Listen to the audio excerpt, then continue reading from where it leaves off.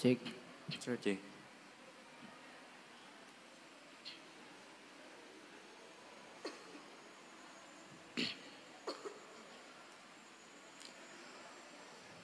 Assalamualaikum warahmatullahi wabarakatuh.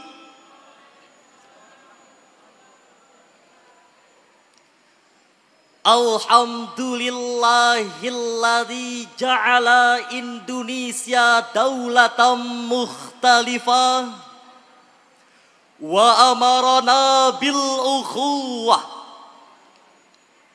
Assalatu wassalamu ala rasulillah wa ala alihi wa sahbihi wa mawalah Amma ba'd. Dewan Hakim yang arif dan bijaksana, hadirin sebangsa dan setanah air yang berbahagia. Keberagaman merupakan sebuah keniscayaan yang harus dihargai dan dipelihara sebagai khazanah membangun perdamaian dan persaudaraan. Hal ini menunjukkan bahwa keberagaman menjadi kekuatan sekaligus tantangan dalam menjaga persatuan dan kesatuan bangsa. Di satu sisi, keberagaman memperkaya warna-warni budaya dan sudut pandang. Namun di sisi lain, Perbedaan-perbedaan ini berpotensi menimbulkan konflik dan perpecahan jika tidak dikelola dengan baik. Jika suatu individu memiliki keyakinan bahwa hanya suku dan budayanya lah yang paling hebat, maka akan melahirkan sikap yang jahat. Kemudian berpotensi menimbulkan konflik yang begitu dahsyat seperti apartheid Afrika Selatan yang menganggap ras Kaukasoid lebih mulia daripada ras Negroid. Fasisme Jepang ajaran Hirohito menganggap bangsanya lebih pantas memimpin dunia. Doktrin James Monroe, American is on America, menganggap bahwa Amerika paling baik dari bangsa lain. Alhasil, Paham-paham tersebut tidak menghargai pluralisme dan multikultural. Untuk itu, penting sekali membangun kesadaran bersama bahwa kita bineka tunggal ika, berbeda-beda tapi tetap satu jua.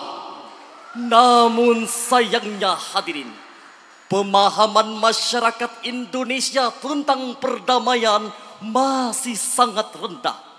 Menurut Institute for Economic and Peace dalam laporan yang berjudul Global Peace Index tahun 2023 menempatkan Indonesia hanya pada posisi 53 sebagai negara terdamai di dunia jauh tertinggal dibandingkan negara-negara yang ada di Asia.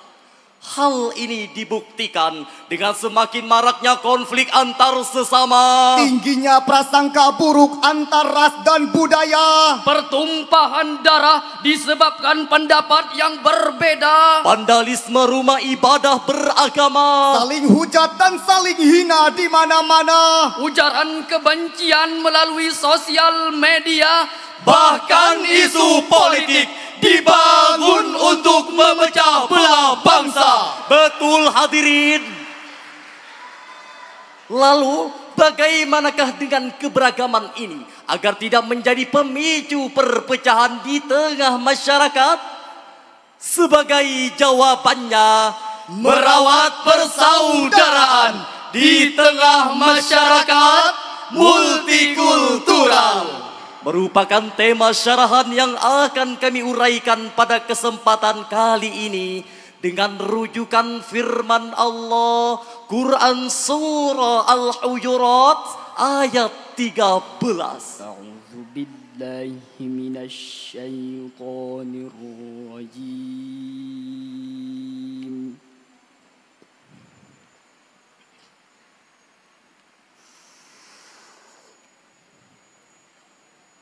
بسم الله الرحمن الرحيم.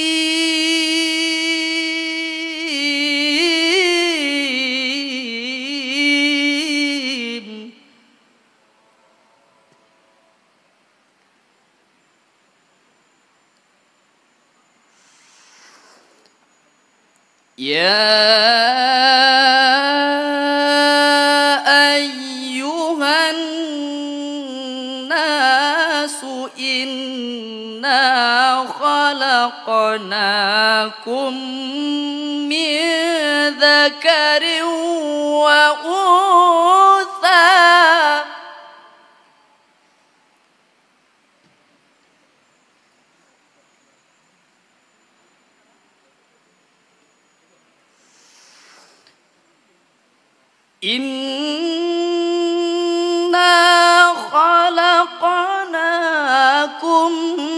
من ذكر وأنثى وجعلناكم شعوبا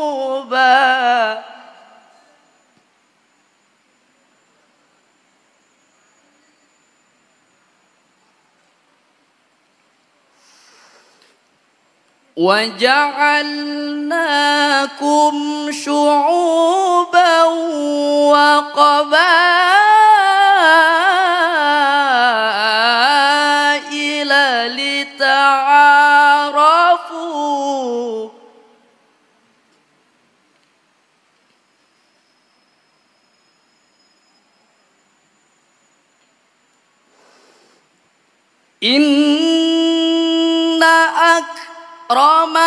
أكرمكم عند الله أتقاكم.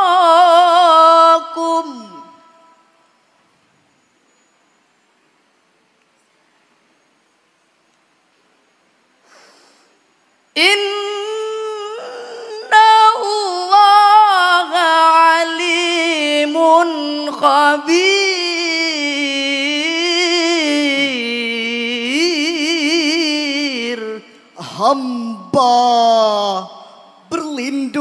Kepada Allah. Dari godaan setan yang terkutuk. Dengan menyebut nama Allah. Yang maha pengasih lagi maha penyayang. Wahai manusia, sungguh kami telah menciptakan kamu dari seorang laki-laki dan seorang perempuan. Kemudian kami jadikan kamu berbangsa-bangsa dan bersuku-suku agar kamu saling mengenal. Sesungguhnya yang paling mulia di antara kamu di sisi Allah ialah orang yang paling bertakwa. Sungguh Allah Maha mengetahui, Maha teliti. Dewan Hakim yang kami muliakan, hadirin sekalian yang kami banggakan. Dari segi ilmu balagoh, ayat ini bersifat khabari yang mengandung suatu informasi bahwa manusia diciptakan dari laki-laki dan perempuan, bercorak suku dan berlainan bangsa. Semuanya memiliki harkat, martabat, serta derajat yang sama di hadapan Allah. Asbabun nuzul ayat ini menurut Ibnu Asyakir dalam kitab Mubahamat dari Abu Bakar bin Abu Daud berkenaan dengan keinginan Rasulullah untuk menikahkan Abi Hindin seorang wanita dari kalangan Bani Baidoh. Bani Baidoh berkata kepada Rasulullah, Ya Rasulullah, pantaskah kami mengawinkan putri-putri kami kepada budak-budak kami? Rasul belum sempat menjawab. Pada saat itu malaikat Jibril datang menyampaikan surah Al-Hujurat ayat 13 ini yang diawali dengan Ya ayyuhan nas. Imam Ali As-Sabuni dalam Safwatut Tapasir menjelaskan bahwa khitabnya adalah seluruh manusia bahwa manusia laki-laki maupun perempuan walaupun bercorak suku dan berlainan bangsa semuanya memiliki harkat, martabat serta derajat yang sama di hadapan Allah. Maka tidak ada alasan bagi kita untuk saling menghina, Saling merendahkan. saling membenci antara satu dan yang lain. Imam At-Tabari dalam kitab Jami'ul Bayan an Ta'wili Ayil Quran Juz 22 halaman 311 menjelaskan bahwa kata syu'ub adalah an-nasabul ba'id yaitu nasab yang jauh. Sedangkan kata qabail adalah al-abkhadul akbar yaitu rumpun yang paling besar. Profesor Dr. Muhammad Quraish Shihab di dalam tafsir Al-Misbah halaman 261 menjelaskan bahwa kata syu'ub dan qabail adalah struktur sosial yang paling besar dan beragam yaitu suku dan bangsa yang menurut Sayyid Kutub dalam tafsir fi zilalil Quran jilid 6 halaman 401 sampai 402 kata li ta'arafu adalah keharmonisan yang dimulai dengan saling mengenal yang fungsinya lil musyarakati baina itsnaini fa aksar. Hadirin, keberagaman ini harus kita jadikan sebagai jembatan emas untuk merawat persaudaraan dengan saling mengenal. Namun sayangnya hadirin, yang kita saksikan semakin maraknya konflik antar sesama perang saudara disebabkan pendapat yang berbeda. Bahkan sekarang ini saling caci saling hina antar agama semakin mewabah di sosial media padahal dengan tegas Rasulullah bersabda Laisa minna man da'a ala asabiyah wa laisa minna man da man mata ala asabiyah. Bukan golongan kita orang yang membangga-banggakan kesukuan dan bukan golongan kita orang yang mati karena membela, mempertahankan dan memperjuangkan kesukuan. Islam sebagai rahmatan lil alamin senantiasa memahami, menghargai serta menghormati keberagaman. Islam memberikan kebebasan untuk berbicara kepada semua agama serta rasa hormat bagi umat manusia tanpa membedakan satu sama lain. Lalu timbul pertanyaan hadirin, bagaimanakah komitmen Islam dengan multikultural? Sebagai jawabannya, mari kita renungkan bersama firman Allah. Quran Surah Al-Kafirun ayat 1 sampai 6. قل يا أيها الكافرون لا أعبد ما تعبدون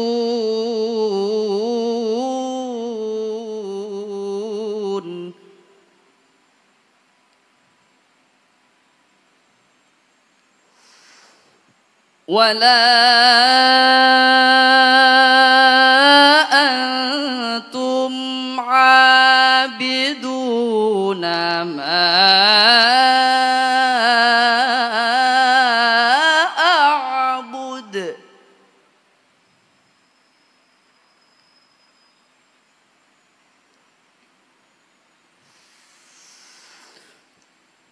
ولا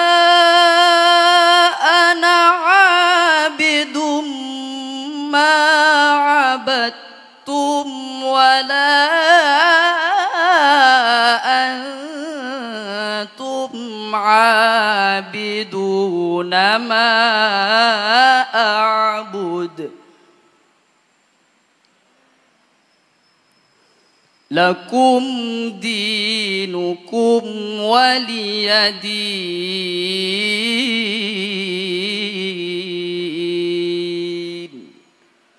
صدق الله العظيم. Katakanlah wahai Muhammad Hei orang-orang kafir Aku tidak akan menyembah apa yang kamu sembah. Dan kamu bukan penyembah Tuhan yang aku sembah. Dan aku tidak pernah menjadi penyembah apa yang kamu sembah dan kamu tidak pernah pula menjadi penyembah Tuhan yang aku sembah untukmu agamamu dan untuk pula agamaku Maha benar Allah yang maha agung dengan segala firman-Nya. Dewan Hakim yang kami muliakan, hadirin sekalian yang kami banggakan. Ayat ini ditujukan kepada Rasul, namun berlaku juga pada umatnya. Sebab al-ibratu bi umumil labdi la bi khususis sababi. Segala sesuatu yang ditujukan kepada Rasul berlaku juga pada umatnya. Dr. Sulaiman Al-Asqari dalam Zuddatut Tafsir min Fathil Qadir menjelaskan pada dasarnya ayat ini merupakan reaksi terhadap kafir Quraisy untuk bergantian menyembah Tuhan masing-masing satu tahun menyembah Allah satu tahun menyembah berhala dengan wahyu ini Rasulullah menjawab aku tidak akan menyembah apa yang kamu sembah dan kamu tidak akan menyembah apa yang aku sembah. Dengan demikian hadirin, Islam tidak mengenal istilah kompromi dalam ibadah. Islam tegas dalam mempertahankan akidah. Sekali kalimat tauhid, selamanya tetap kalimat tauhid. Namun, Islam tidak pernah mengganggu agama dan keyakinan orang lain. Islam menjadi rahmat bagi seluruh alam dan menjunjung tinggi pluralitas dalam kehidupan. Oleh karena itu, kita sebagai insan beragama, mari menguatkan ukhuwah dinia, ukhuwah insania, bahkan ukhuwah watonia. Bersatu kita teguh, bercerai kita runtuh. Memang manis gula-gula Begitu juga negeri kita Ragam suku dan budaya Dari Aceh sampai Papua Ragam umat agamanya yang bersatu di Indonesia. Indonesia negeri tercinta Kita semua wajib menjaga. Kita semua wajib menjaga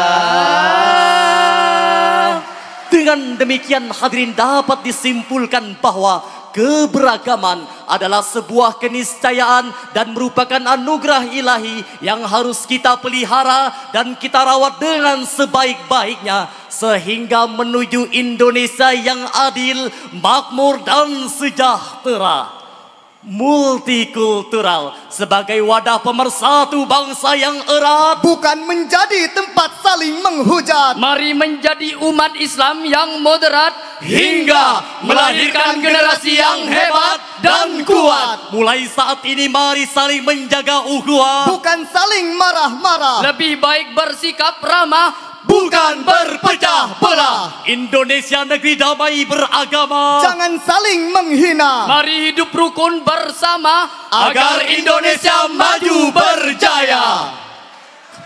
Manusia makhluk sosial. yang terikat dengan hubungan batin. Mari kita rawat persaudaraan multikultural. Agar akidah terjamin, ukhuwah terjalin. Wassalamualaikum warahmatullahi wabarakatuh.